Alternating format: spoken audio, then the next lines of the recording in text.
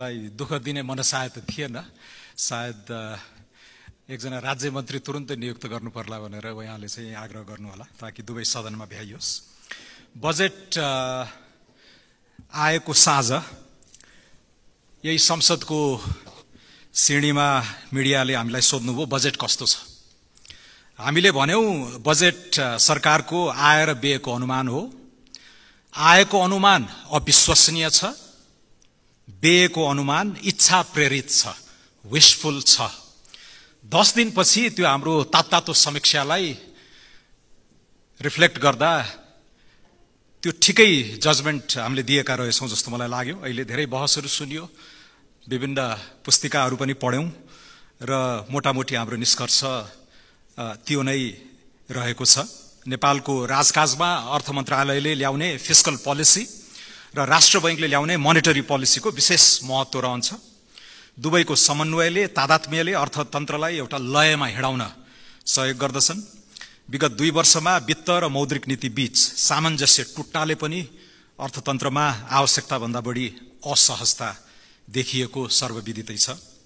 सुकेको व्यापार गुमाइएको रोजगारी जोखिममा परेको लगानी र फैलिएको नैराश्यको उपचार परीक्षित आर्थिक नीति र सत्ताको बागडोर सम्हाल्ने मन्त्रीका नियत र क्षमतामाथि नागरिकले गर्ने विश्वास नै हुन् भन्ने मलाई लाग्दछ।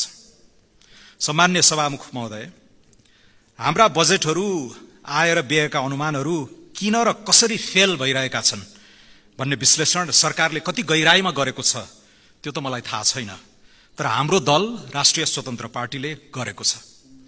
भूकम्प पछिका नौ दस वर्ष शान्ति प्रक्रिया पछिका पन्ध्र वर्ष बहुदल पछिका बत्तीस वर्ष र पञ्चायतलाई समेत जोडेर विगत पचास वर्षकै टाइम सिरिज डेटा र एनालिसिस हामीले केलाएका छौँ।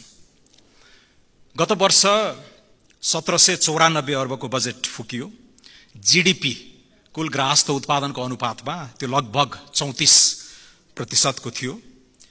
मध्यावधि समीक्षामा त्यसलाई स्वाठै घटाएर पन्ध्र सय पचासतिर ल्याइयो।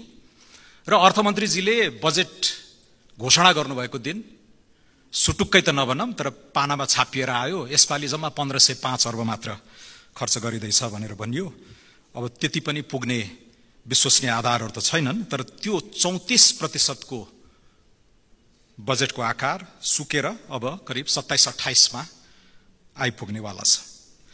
एउटै सालको व्यय र आयको आयको अनुमानमा झन्डै झन्डै six percentage point six percentage होइन कि सिक्स छ प्रतिशत बिन्दुको फरक पर्नु भनेको त्यो राम्रो कुरा होइन। यसले बजेटका अन्य अनुमानहरू बजेटमा राखिएका अन्य आकाङ्क्षाहरूलाई त्यति विश्वसनीय बनाउँदैन भन्ने मेरो जिकिर छ। सन् दुई हजार पन्ध्र सोह्र भूकम्प पछिको विगत आठ वर्षकै बजेट विश्लेषण गर्नुभयो भने करिब साढे चौतिस पैँतिस प्रतिशत जिडिपीको अनुपातमा चाहिँ प्रक्षेपण गर्ने खर्च चाहिँ हामी सत्ताइस अठाइसमा गर्ने गरेका छौँ। भूकम्पभन्दा ठ्याक्कै अगाडि डाक्टर रामशरण महतको पालामा म पनि योजना आयोगको सदस्य थिएँ। त्यति बेला हामीले छ सय अठार अर्बको बजेट लिएर आएका थियौँ। त्यति बेला चौबिस पच्चिस प्रतिशत एज अ सेयर अफ जिडिपीको बजेट फुक्ने अन्ततोगत बाइस तेइसमा चाहिँ त्यसलाई ल्याएर अवतरण गराउने खालको प्र्याक्टिस थियो। भूकम्पपछि पुनर्निर्माणका कारण वात्तै बढ्दै गएको बजेटको आकारलाई हामीले व्यवस्थापन गर्न सकेका छैनौँ। हामी एउटा अनुकूल समयको खोजीमा बसेको जस्तो भान हुन्छ। पुनर्निर्माणले गति लिँदै गर्दाखेरि कोभिड आयो। कोभिडको न्युमा पनि हामीले थप ऋण बजेटको आकार वात्तै बढाउँदै गयौँ। र कोभिड र पुनर्निर्माणको बिच बिचतिर सङ्घीयताका कारण पनि केही प्रतिशत बिन्दु बजेटको आकार बढ्दै गएको सही हो। तर अब यसलाई यथार्थमा ल्याउनु पर्यो। यसमा विश्वसनीयता रिस्टोर गर्नुपर्ने चुनौती छ। र मलाई आशा थियो एउटा फ्रेस म्यान्डेटबाट पाँच वर्षको कार्यकाल लिएर आएको नयाँ संसदले नयाँ सरकारले सुरुमा अप्रिय बोल्ड निर्णयहरू गर्ने आँट गर्ला भन्ने मेरो अपेक्षा थियो। तर त्यस्तो हुन सकेको छैन। यो बजेटमा हामीले अलिकति आकार खुम्च्यायौँ तर as a share of GDP लगभग तिस पर्सेन्ट जतिकै त्यो छ। जबकि हाम्रो क्षमता चाहिँ सत्ताइस अठाइस प्रतिशत खर्च गर्ने क्षमता त्यतातिर गएर अड्केको छ। बजेटको आकार बढेको बढै निजी क्षेत्रमा जाने कर्जा दोब्बर भएको छ यही अवधिमा करिब चालिस पैँतालिस प्रतिशत अफ जिडिपीबाट लगभग शत प्रतिशत नै पुगेको छ। तर यी दुइटैको आर्थिक वृद्धिसँगको सम्बन्ध त्यति कसिलो हुन सकेको छैन। औसतमा अडचालिस सालपछि मात्र होइन धेरै पञ्चायत कालदेखिकै आँकडा। डेकेडल एभरेजहरू हेर्नुभयो भने दुईदेखि पाँच प्रतिशतको वार्षिक आर्थिक वृद्धिमा हामी लिइरहेको तर चमत्कार गर्न खोजेको देश फड्को मार्न खोजेको देशले गर्नुपर्ने चाहिँ सातदेखि दस प्रतिशतको आर्थिक वृद्धि। यो लिकेज यत्रो पैसा खन्याउँदा पनि सार्वजनिक पुँजी निजी पुँजी निजी कर्जा खन्याउँदा पनि आर्थिक वृद्धिसँग यो सम्बन्ध किन टुटिराखेको छ? यसको विश्लेषण गरेर एउटा फन्डामेन्टल कोर्स करेक्सनतिर हामी जानु पर्थ्यो र जानुपर्छ जस्तो मलाई लाग्छ र त्यस अर्थमा त्यस अर्थमा यसपालि मान्य अर्थमन्त्रीजीले एउटा अवसर गुमाउनु भएको हो कि जस्तो मलाई लाग्छ। बोलीचालीको भाषामा झारफुक होइन सर्जरी नै गरौँ है भन्दाखेरि अर्थमन्त्रीज्यूले एकैचोटि सर्जरीमा जाँदा बिरामी मर्ला नि पनि भन्नुभएको थियो। त्यो पनि एउटा तर्क हो। तर यो पाँच वर्षको कार्यकाल लिएर आएको फ्रेस म्यान्डेटका कुराहरू गर्दै गर्दाखेरि अब हामीलाई रिफर्महरू थाँती राख्ने सुविधा छ जस्तो मलाई लाग्दैन। यी पञ्चायतका रिफर्महरूलाई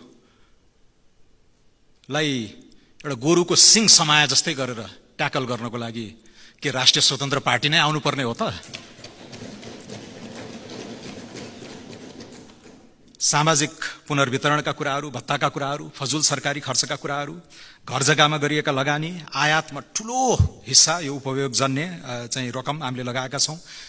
गरेको पूर्वाधार लगानीमा पनि अब युवाहरूको पलायन छ त्यसको सदुपयोग आर्थिक वृद्धिका लागि त्यो हुन सकिराखेका छैन।